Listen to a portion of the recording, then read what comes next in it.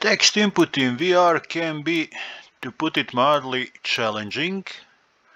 You know, like, so I need to type type in my name here, and it's the uh, yeah the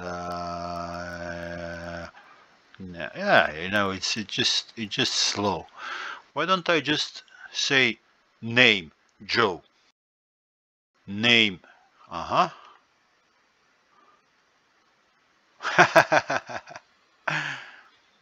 Name, uh-huh. Name Joe. Well, welcome to 21st century. Web Speech API has been around for quite a while now.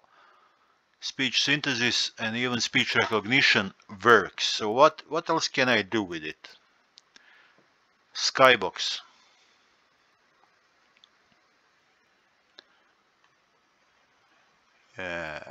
Let's see. And I can choose what I like. Let's let's take this one.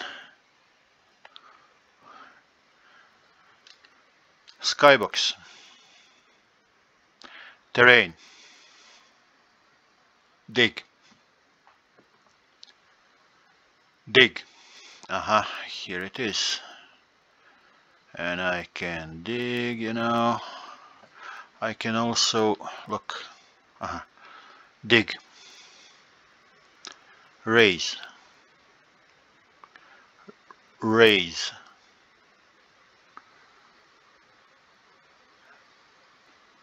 And I can raise. But check this. Height 1.5 height uh-huh and I can raise more or less. Height 0.2 yeah. Or less right? Or I can change and I can change texture. All that I need to do is say texture.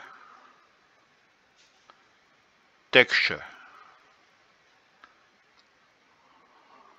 Oh well, plenty of them around, right?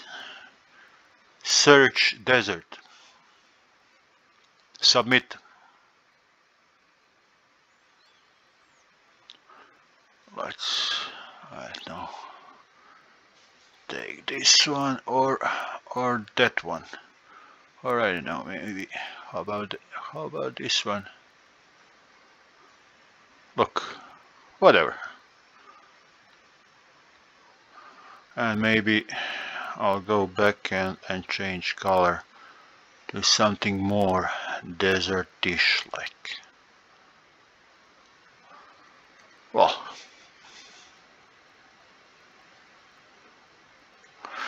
all right what else we do here we have here?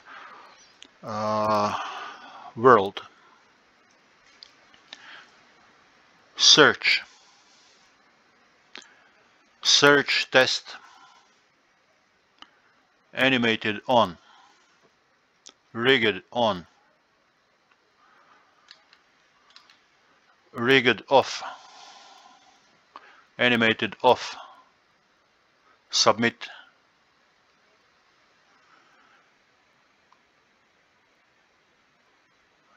yeah. here it goes move move. Yeah.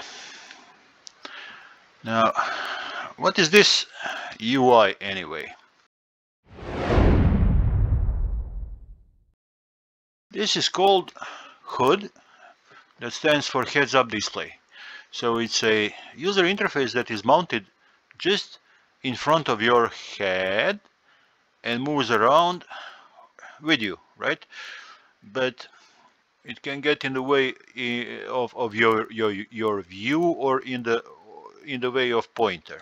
So you can place it wherever you like, like this, or just grab it with your hand or with the other hand, and it sticks here.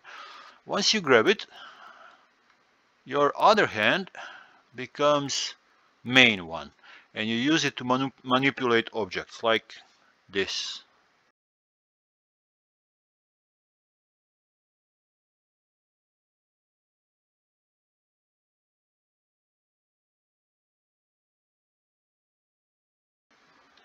All right.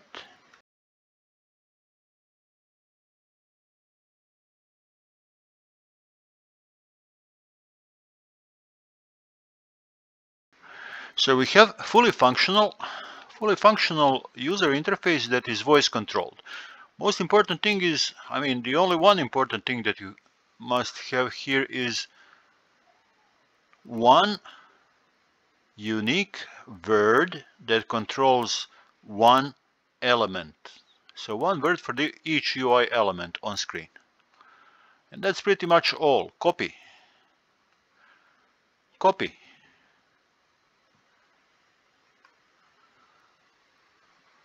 Yeah, you see, looks simple, is it? And so on. Align. Align. Align. Align. Upright. Upright. Right. Okay. What what else do we have here? Look at this. This here is chat input element. So I can say anything. Say anything. Send. Right, and chat log pops up again you can place it where you like it most let me just and uh, and resize it the way you like it like this. Okay. Move it here there back and forward so you can read better. Say come on.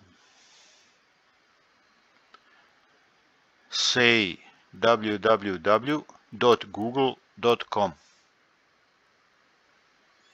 Uh-huh.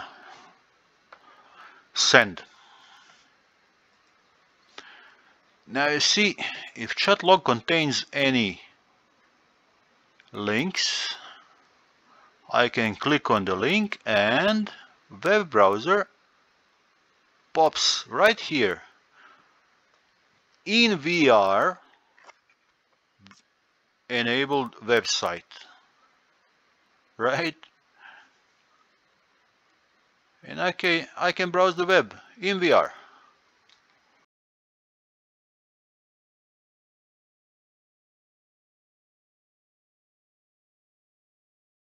enter test submit. And looky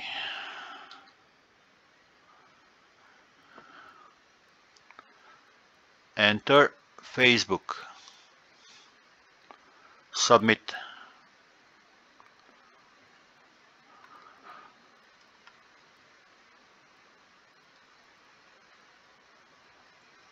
And so on.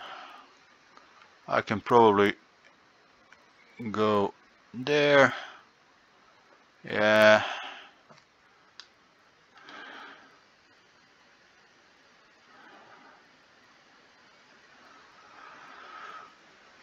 Yeah, and so on.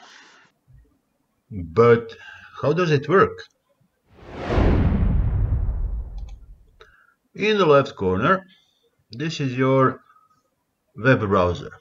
There is a 3D object with the texture that represents web browser. Whatever you do with it, you click on it, VRSpace client sends a request to VRSpace server. Browser controller communicates with Selenium, this is web testing framework, that starts and controls Firefox browser. Firefox browses the web for you and when a web page is rendered, Selenium takes screenshot and VRSpace returns that screenshot to your web browser. VRSpace client then glues this screenshot as texture to 3D objects represented uh, web browser in VR. But why Firefox, you might say? Well, it turns out that Chrome cannot render WebGL content in headless mode. But Firefox can. Look,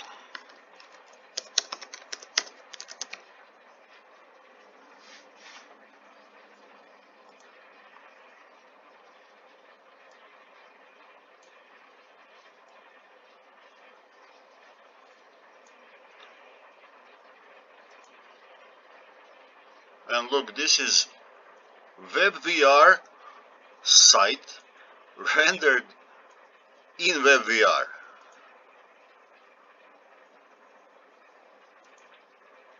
Cool huh? And that's all for today. In the next episode mobile VR thanks for watching. Hope to see you soon